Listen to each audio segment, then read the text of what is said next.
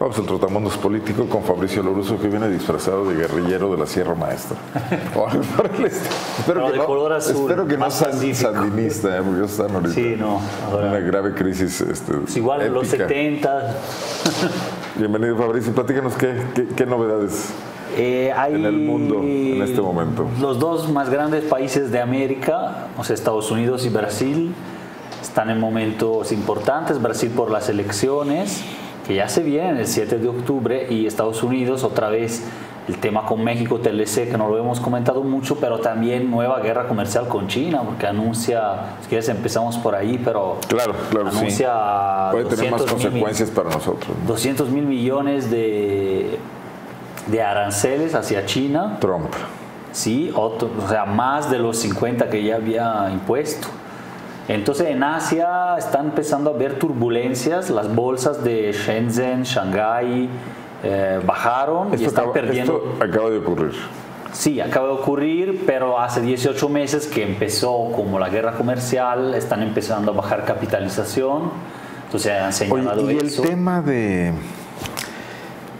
que todo el mundo menciona como un factor ahí que, que va a pesar en un momento dado de que China sea dueña de la mayor parte de la deuda en bonos del Tesoro norteamericanos. Habíamos visto eso, es sin duda es un factor interesante porque es, uno de los, es el principal comprador de los bonos de la deuda norteamericana y Estados Unidos es uno de los países con eh, eh, más endeudados del mundo. En cantidad, sí, por la dimensión de su economía, pero también en relación con el PIB. ¿no? Eh, estamos a niveles muy altos, es equivalente al PIB de Estados Unidos, ¿no? Toda la deuda. Y entonces, en ese sentido, pero no se clasifica como pudiera ser Argentina o como pudiera pasar con Grecia, etcétera, como un país incumplidor por el papel del dólar que se históricamente ha tenido y que todavía es importante en el mercado del petróleo, es una garantía de eso. Y la economía de Estados Unidos, hay que decir que aún menos está en riesgo de que esa deuda sea un problema, aunque esté en manos de China, eh, pero porque ha crecido mucho. Es decir, le ha ido relativamente bien mm, a Trump con el 3, creció el doble de que lo que era dos años atrás, o sea, de 1.6 va a llegar a 3, manera está a 3%. 3% de crecimiento para un país llamado así, digamos, desarrollado o de industrialización madura, como Europa, Estados Unidos, Japón, 3% es alto, ¿no? Eh, de hecho, es superior a México, que sería un país en vías de desarrollo, como lo dicen, o sea, de crecimiento rápido, rápido, elevado, ¿no? Entonces está, está superando eso y ha tenido un boom del empleo. Entonces, ahora que hay elecciones intermedias, puede permitirse incluso una guerra comercial, aunque sea temporal o vemos cómo va acabando, pero con China. Ahora, ahí en la economía americana hay otro factor que es importante. Eso le ha ido bien, no se sabe si por factores realmente externos, por lo que había preparado Obama, porque la crisis de alguna manera se palió, se acabó, la del 2008. Entonces no es propiamente el factor Trump, también pero, le, tocó en suerte disfrutar de un boom, un boom de gas y petróleo también. Este, más inversiones, etcétera, depende del sector privado, pero pues pasó ahora. Uno, de los gobiernos quizás más deficientes en términos de política pública que ha tenido este país es el de Vicente Fox. Es, casi y le fue muy bien porque el precio del petróleo estaba alto y había mucho dinero. Claro, ahí, ahí Estados Unidos está viviendo un boom así, pero ya están señalando la economía de ahí cuellos de botella, es decir, Ahora va bien, pero si esa gran inversión que hubo en sectores clásicos eh, del auto, pero sobre todo gas y petróleo, energéticos, esa inversión eh, se puede estancar en el sentido de que, por ejemplo, están señalando la construcción de oleoductos y el uso de acero es muy caro ahora en Estados Unidos. Entonces, petróleo, pues después cómo lo transportas o qué nuevas inversiones o manutenciones hacen ahí, es un cuello de botella. Y el otro es el mercado laboral, que con el stop o con la, el deterrente que crean contra la migración, eh, también es otro cuello de botella. Entonces están señalando esto, crecimiento 3%, se podría calentar la economía si ese crecimiento luego no se derrama y sobre todo si luego hay cuellos de botellas, por ejemplo, cuestión de construcción, eh, acero y, y, la otra del, del, mano de obra, pues de la cuestión de la mano de obra. y eh, no se destraba tampoco la situación del TLC, porque con México logró el acuerdo, pero Canadá todavía no, y pasó un tiempo. Pero todavía no se firma, ¿no?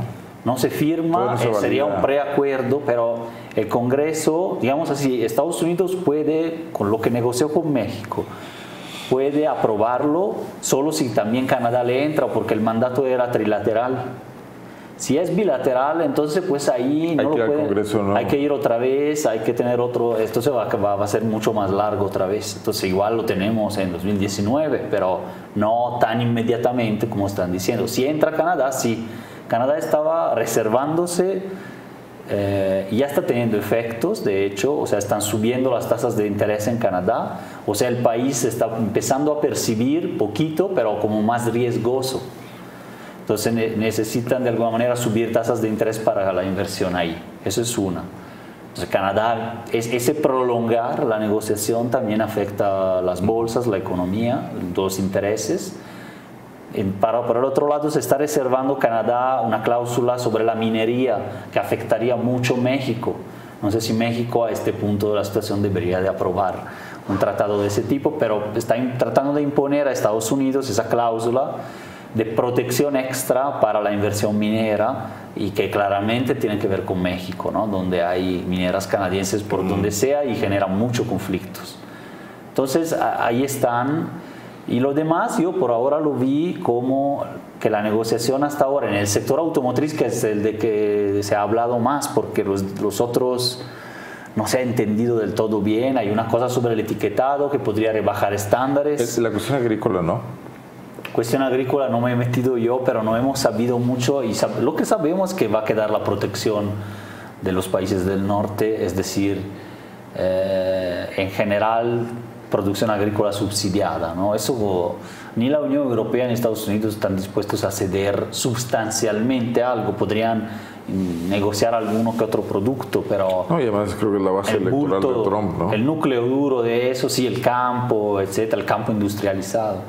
Pero pues lo que se ve es que para mí puede provocar, como está negociado ahora, un desplazamiento en el mediano plazo hasta que México no reajuste el sector automotriz. Pues estamos por ver Un desplazamiento de producción. el sector automotriz no lo regula México, pero lo regulan corporaciones internacionales, ellos son los que tienen que ajustarse, ¿no? Sí, ellos sí, además, pero hay que ver si están dispuestos a ajustarse o simplemente reducir el contenido mexicano de los productos para ir hacia lo que prevé el tratado. El tema de los salarios que el tratado presionaba un son poco dos, sí, exactamente, son las dos cosas. A elevarlos, ¿no?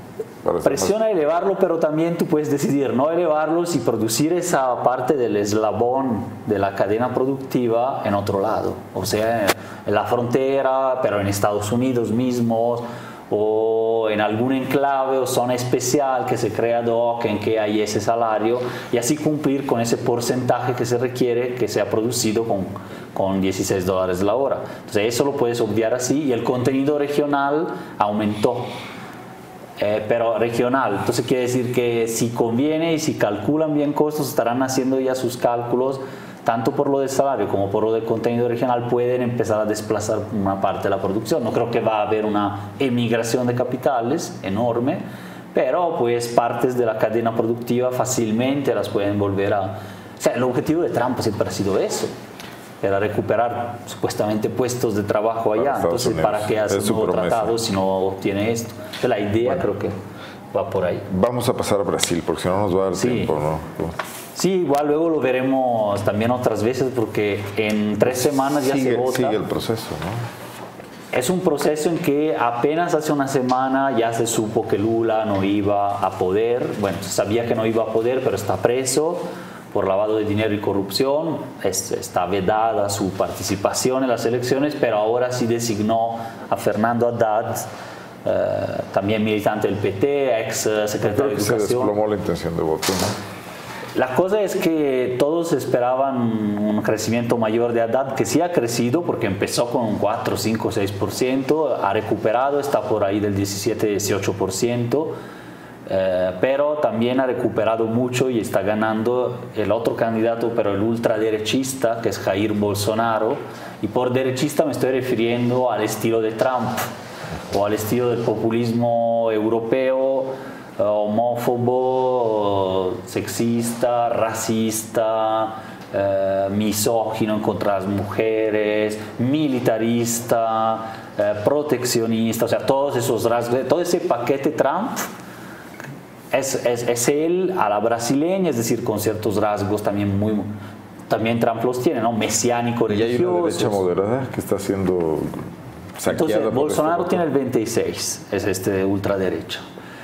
Eh, parece que puede llegar contra el sucesor de Lula, a lo mejor en la segunda vuelta, porque hay segunda vuelta, está muy fragmentado, entonces todos tienen 26, 17, 13. Ahora, más abajo de estos está una derecha moderada, digamos así, pero que es el PSDB, Partido de la Socialdemocracia Brasileña, que es el neoliberalismo más bien, sería más esa corriente económica que gobernó Brasil eh, digamos, desde la democracia de los 80 hasta 2002 eh, por lo menos, y que ha vuelto a gobernar eh, con los últimos dos años de Michel Temer, que ha, ha, empezado a reducir derechos laborales, de pensiones, de la jubilación, está bloqueada la inversión en educación, más venta a compañías extranjeras de las reservas petroleras, por ejemplo, el frente de, de, Río, ¿no? que está esta cuenca etcétera. Entonces, y simbolizado un poco por la quema del museo que hemos visto, o sea, la desinversión total en cuestiones de... Eso no impactó en, tendencia electoral. Por ahora me parece que no está tanto en el debate, pero Temer, hay que decir, es de un partido que no tiene candidato presidencial, pero que puede en la sombra decidir algo, que es el PMDB, que es un partido que es como una se llama el, aguja de la balanza, no sé si el, fiel de la balanza. De Exactamente, el fiel, nosotros le decimos la aguja, pero es un partido grande que gobernó con PT a la izquierda y también con PSDB a la derecha. Y ahora hasta podría en algún momento apoyar a Bolsonaro. Un partido centrista. Ha apoyado, digamos, el golpe institucional o parlamentario en contra de Dilma Rousseff, por eso está gobernando Temer. Y entonces ese partido no tiene candidato presidencial, pero a ver por quién se orientan sus electores. O sea, los electores pueden votar PMDB, pero también votar presidente del PT, o sea, de la izquierda. Entonces ahí, ahí están y la izquierda llega un poco llega dividida porque está Ciro Gómez, que es otra figura histórica de los gobiernos de Lula, que tiene su propio partido, que es el de Democracia Laburista, y que ha estado en la, en la vida política hace 30 años, es muy respetado efectivamente como figura progresista, ha trabajado prácticamente en todo, poder ejecutivo, eh, alcaldía, diputado, y no ha salido manchado de ningún escándalo, también como Fernando Haddad, o sea, son figuras que se presentan como honestas, aún así han estado dentro del aparato gubernamental de los últimos 10, 15 años. O sea, hay que ver él, si gana él, dicen que en la segunda vuelta Ciro Gómez le puede ganar a Bolsonaro. Si gana Haddad, dicen que en la segunda vuelta está difícil que gane con Bolsonaro, se podría entonces ganar el Trump brasileño.